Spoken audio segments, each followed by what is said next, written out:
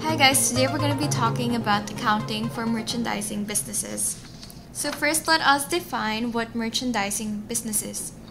It's also known as a trading business. So basically, it's engaged in the buying and selling of finished goods. You, um, these businesses gain an income based on the resale of goods at a profit. And so you have to take note that with merchandising businesses, we have the merchandise inventory account, which is an asset under current assets presented after accounts receivable.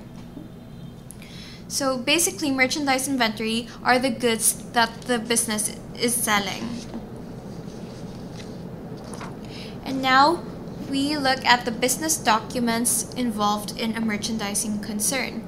So first are the official receipts or ORs, which are basically documents you issue when there is a receipt of cash. And then we have sales invoice or purchase invoice, which are basically the same thing. It just varies depending on what perspective you're taking. So if you're a seller, it's a sales invoice. If you're a buyer, it's a purchase invoice.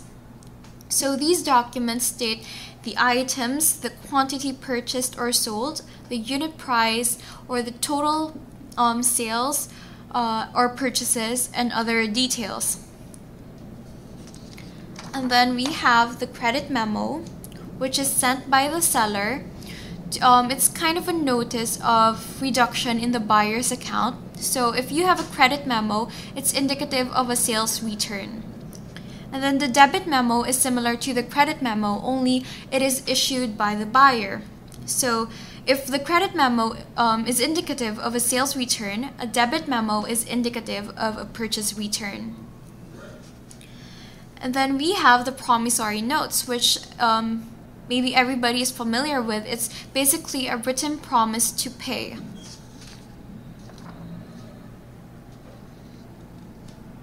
And then we have a check, which I think everyone is also familiar with. It's basically an order to the bank signed by the maker to pay the bearer a certain amount of money. And then lastly, we have the cash register slip, which is an evidence that money was received. So this document has the date of receipt as well as the amount. It must be noted that there are two inventory systems that merchandising concerns employ. So they could employ either the periodic system or the perpetual system. So what is the difference? Basically, in a periodic system, you have to count the goods physically at the end of the accounting period. This is because you do not keep track of the movements in merchandise inventory throughout the year. All your purchases are recorded in the purchases account. On the other hand, for perpetual inventory, you have a merchandise inventory account where all your purchases or goods sold are recorded. This system requires the maintenance of records called stock cards that usually offer a running summary of the inventory inflow and outflow. So it calls for the update of the merchandise inventory account whenever there's a purchase or a sale. So in short, you keep track of the movement in the inventory account. This system, the perpetual inventory system, is actually optimal for um, for businesses that sell low numbers but high value goods.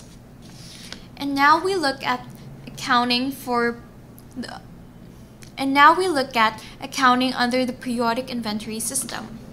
So, for example, if you have a purchase of merchandise, as I said before, you have to use the purchase account. So, you make a debit to purchases and then you credit either accounts payable or cash depending on the terms of purchase. And then you have the return of merchandise purchased.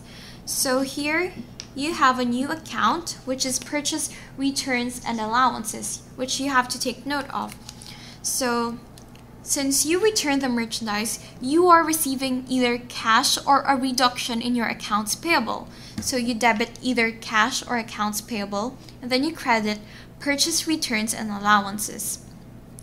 This is a contra asset account which is presented um, which is deducted from your purchases account to get net purchases. And then you have the return of merchandise purchased. So when you return a merchandise, you receive cash or a reduction in your accounts payable. Therefore, you need to debit cash or accounts payable. And then you have to credit purchase returns and allowances. This is a contra asset account against purchases. So this is actually um, deducted from purchases to get your net purchases. And then we have the sale of merchandise. Um, so it's a normal uh, sale transaction. So you basically debit cash or accounts receivable and credit sales. And then lastly, we have the return of sold merchandise. So you simply make a debit to sales return and allowances, which is another account you want to take note of, and credit cash or accounts receivable depending on what you return to your customer. The sales return and allowances is, is deducted from your sales to get your net sales.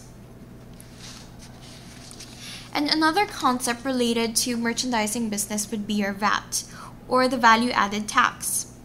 So it's an indirect tax, meaning you could transfer the liability to the other person. So most businesses choose to transfer the liability to the customers. So instead, we as customers pay for the VAT.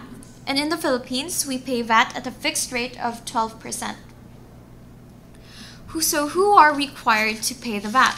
So basically, anyone with a gross revenue of 1.5 million every year has to pay the VAT. And they must register with the Bureau of Internal Revenue or the BIR. If a VAT exempt entity registered as VAT re registered, then they still have to pay the VAT. So the formula to get VAT is basically the amount gross of VAT divided by 1.12 multiplied by 0.12. Or if you have the amount net of VAT, you simply multiply that by 12%. There are two types of VAT, which are input VAT and output VAT. So basically, input VAT would be used for purchases, while output VAT would be used for sales. So here's an example. Example is you purchased 10,000 pesos worth of supplies, 12% VAT. So in this case, the VAT is not yet included in the amount of 10,000. Therefore, you need to debit supplies at 10,000 and you need to debit a separate amount for VAT of 1,200 which you got by multiplying 12% to 10,000. Since it was a purchase, the account title would be input VAT. And then you simply make a credit of cash for 11,200 pesos. And here is an, another example. We have here for output VAT, which is for sales. So example, you sold goods for 10,000 pesos inclusive of 12% VAT. So it means that 10,000 is already the total of all your sales plus the VAT. So you simply make a debit to cash for 10,000 and then credit to sales for 8,928.57 which you got by deducting the VAT from 10,000 pesos. And then credit output VAT for 1071.43 which we got by dividing 10,000 by 1.12 and multiplying 12% VAT rate. It's important to note that there are account titles that should always be presented as net of VAT, which means VAT should always be removed from these amounts. So these account titles include purchases, purchase returns and allowances, purchase discount, freight in, sales, sales returns and allowances, sales discount, store supplies, and your PPE. And the last topic to take note of would be your freight. So there are two main terms that you need to take note of, which means free on board and collect or prepaid. So when you talk about free on board, basically you're talking about who will sh shoulder the freight. If it's free on board shipping point, it means that the buyer will shoulder the cost since the shipping point or the seller is free of the responsibility to pay the freight. If it's free on board destination point or free on board buyer, then that would mean the buyer is free of the obligation to pay the freight, meaning the seller carries the liability for freight costs. On the other hand, collect and prepaid would have something to do with who paid the cash for the freight. So if it's collect, it means the buyer paid in advance, Well, for prepaid, it means it's the seller who paid. And now we look at four possibilities or four combinations. If it's free on board shipping point and it's collect, it means that the buyer has the obligation to pay for the freight and it's the buyer who paid for the freight. Therefore, the buyer has no liability to, to the seller and the seller also has no liability towards the buyer. If it's free on board shipping point, it means that the buyer has the obligation to pay the freight. However, it's prepaid, meaning the seller paid for the freight. It means that the buyer has the liability to the seller. And then for the third um, possibility, if you have FOB destination point, it means that the obligation for the freight is on the seller. But it's collect, it means that the buyer paid for the freight, meaning the seller has an obligation towards the buyer. Lastly, if it's FOB destination point, it means that the seller has the obligation to pay for the freight.